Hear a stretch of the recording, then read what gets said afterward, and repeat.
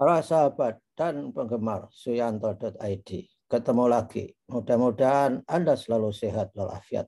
Masih pada tema mengapa orang sukses, mengapa orang gagal. Pada vlog 15, grand teorinya masih tetap sama, masih sama, yaitu mengenai mindset. Ketika eh, pada vlog 14 kita mengupas mengenai mengapa orang sukses, mengapa orang gagal, tergantung kepada bagaimana eh, dia menyikapi terhadap rintangan-rintangan yang dihadapi. Nah, kali ini kita menanjak, beranjak ke faktor berikutnya, yaitu mengenai upaya.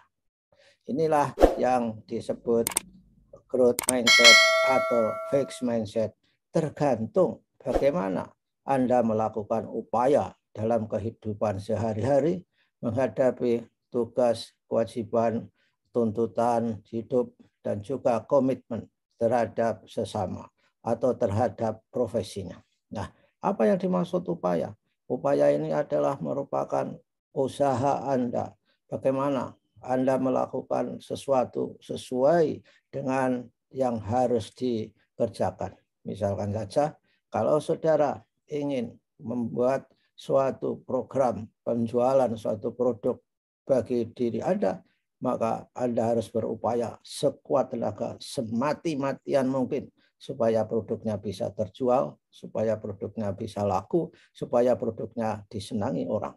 Nah, ketika saudara membuat disertasi, nah upaya apa yang harus Anda lakukan? Yang harus dilakukan tentu penelitian berjalan, menulis berjalan, kemudian berpikir kritis berjalan. Nah, itu adalah merupakan upaya. Nah, yang menjadi predator upaya adalah perasaan pada diri sendiri. Bisakah saya? Bagaimana kalau gagal? Nah, pertanyaan itu harus dibuang jauh ketika kita mempertanyakan kepada diri kita, apakah bisa sukses? Apakah nanti tidak gagal? Nah, jangan berpikir tentang kegagalan ketika kita melakukan upaya. Karena pada hakikatnya, kegagalan itu adalah merupakan bukti bahwa Anda telah melakukan upaya untuk menghadapi tugas, menghadapi tantangan, menghadapi rintangan. Ketika saudara nggak memiliki upaya sama sekali, dalam kata lain itu adalah malas. Orang malas itu tidak akan mendatangkan keberhasilan. Sebaliknya, orang yang petarung, orang yang selalu melawan rintangan dengan upaya-upayanya, ada peluang sukses. Dan ketika orang gagal, banyak kata bijak mengatakan bahwa kegagalan adalah merupakan kesuksesan yang tertunda. Oleh karenanya, jangan takut gagal. Karena kalau takut gagal dan saudara nggak melakukan upaya sama sekali, pasti gagal. Tetapi jika Anda melakukan upaya dan gagal, kemudian bangkit, datanglah kesuksesan.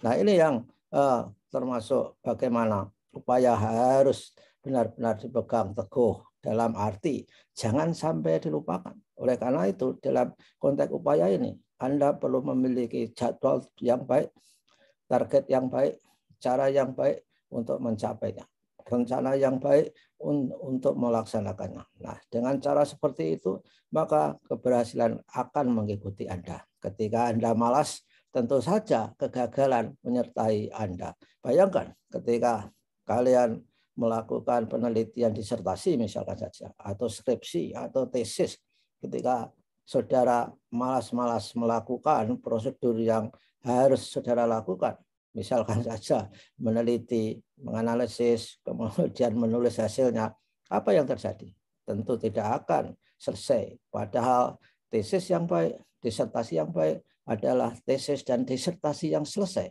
bukan hanya pada angan-angan pemikiran dan apa pun bentuk-bentuk idealisme yang lain sehingga Anda puas dengan idealisme saja tanpa ada upaya untuk uh, memenuhi bagaimana idealisme itu bisa dilaksanakan. Nah, itulah oleh karenanya saudara jangan pernah sekali-kali malas, jangan pernah sekali-kali takut gagal, kalau itu semua saudara lakukan, maka saudara akan gagal dalam arti yang sebenarnya. Gagal berkali-kali berarti belajar berkali-kali. Nah, dari kegagalan itu yang perlu dilakukan adalah merefleksikan diri. Mengapa saya gagal? Di mana letak kelemahan saya? Kemudian bagaimana supaya kita berhasil keluar dari kegagalan?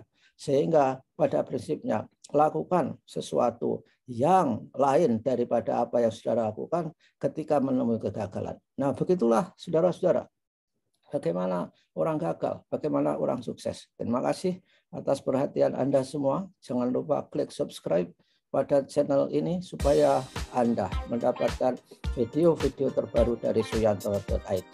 Salam sukses, sampai ketemu.